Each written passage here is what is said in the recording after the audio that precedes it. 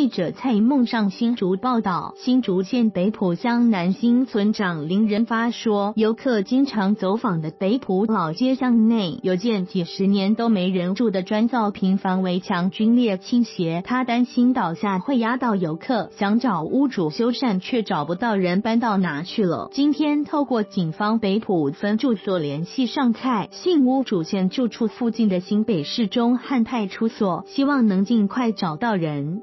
这间老房子的砖墙倾斜已经很明显，前几天连假游客多，我真的很担心它会倒下来压到人。林仁发曾透过邻里要找屋主，但这间老砖造平房已经好几十年没人住了，附近邻居也都不知道屋主是谁。眼看围墙越来越倾斜，让他忧心忡忡。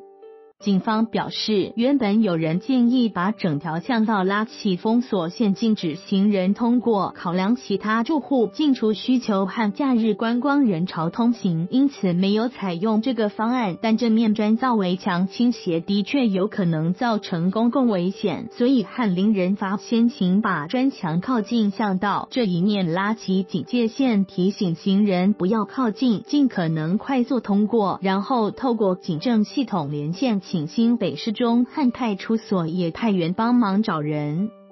林仁发说，这间位于慈天宫旁南新村五零三巷内的老房子，外观看起来古色古香，但内部因为长期无人管理，已经青皮不堪，现在连围墙都快倒了。希望认识屋主的人赶紧通知他回来处理，保障路人通行安全。